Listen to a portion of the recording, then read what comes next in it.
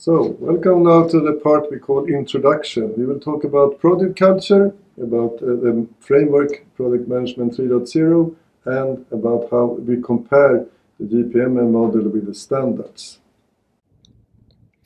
So, what is product culture? We call it the business driven product culture. And a way to see how a pro, uh, organization or a company compares to or have a good uh, product culture. We can see this over these six signs.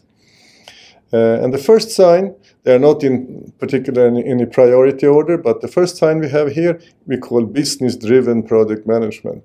What does that mean? Well, it's actually especially about product portfolio management. So an organization or a company that have a good business-driven product management means that they are good in product portfolio management. They are good in choosing the right products to do with the right scope and with the right focus to really create the most possible benefits and value for the company. So the right product portfolio continuously being supervised and improved uh all, over, uh, all the time. Then the second one, value creation and benefits gener generation. What does that mean? Well, it's actually about the old famous time, cost, and quality. Are we good in, in our particular projects and program to, uh, programs to continuously create better, most possible value and benefits both for the customer and for ourselves?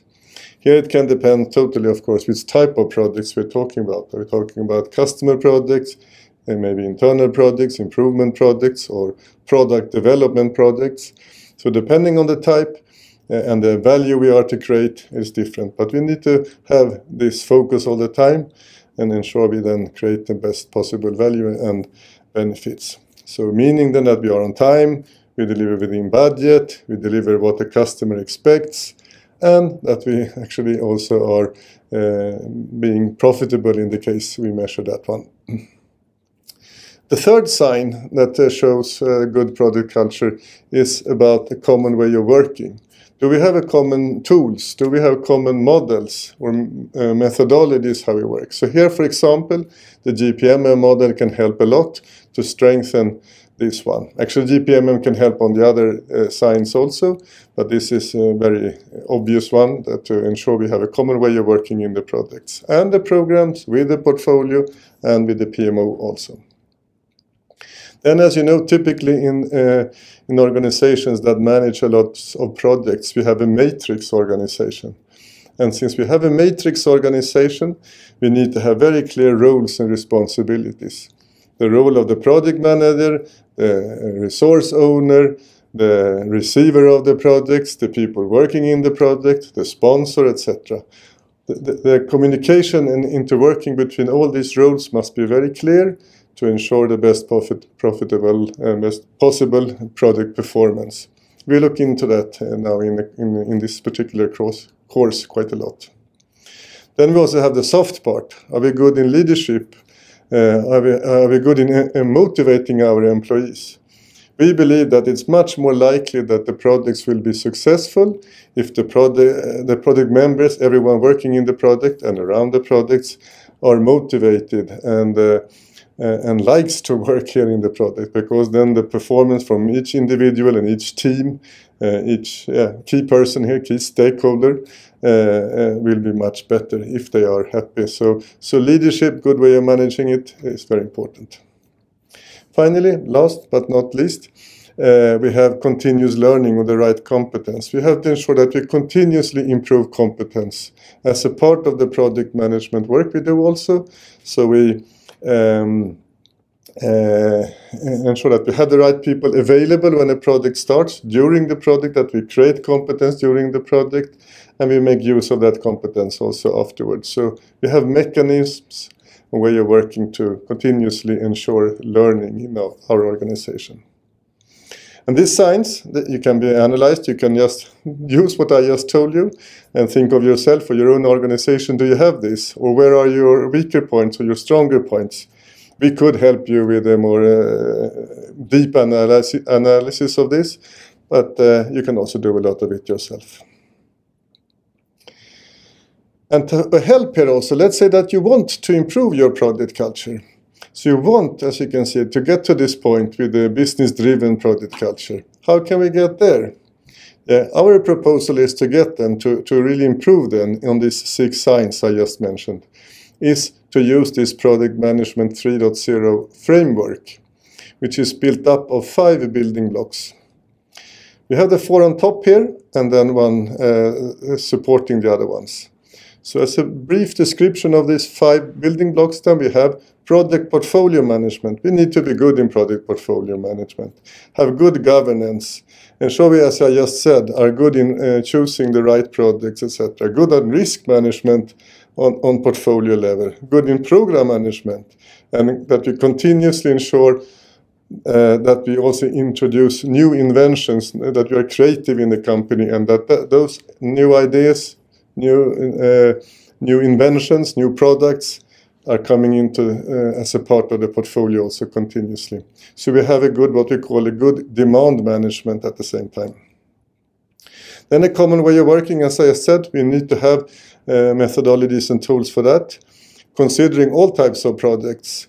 They could be structured, as we say, the, the waterfall project, so, but they could also be agile, fully agile, and they could be hybrid projects. We'll also talk more about that in, in other courses in this series of, of courses. We could then have the model, as I said, the GPMM models as a good support here, and we support all these types of projects. Business analysis is an important concept here, so to ensure that we define very well the scope of the project and we understand well the requirements. Common tools, as I said, and that we continuously also work with improvements in our way of working.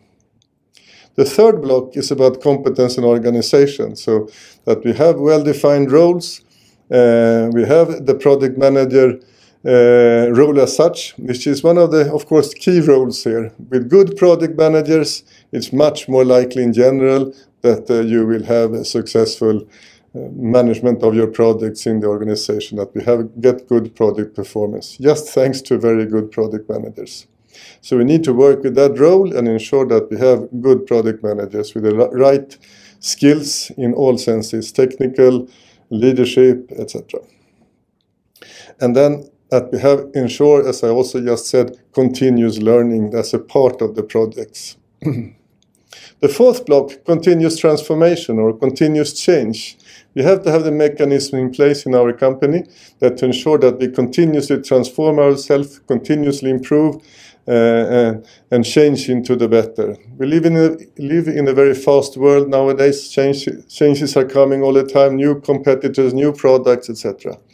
So we need to use the best possible project management to ensure that we follow these trends and adapt to these trends.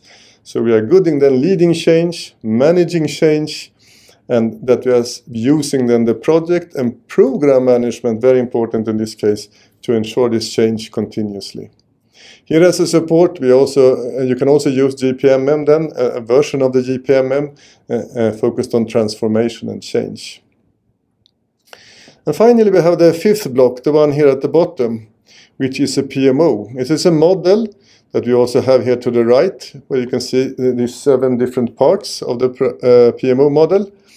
Uh, but we need PMOs. Depending on the size of the organization, it could be one PMO, but it could also be many uh, PMOs out in the organization if it's a big company. Typically, globally big companies, international companies have many PMOs.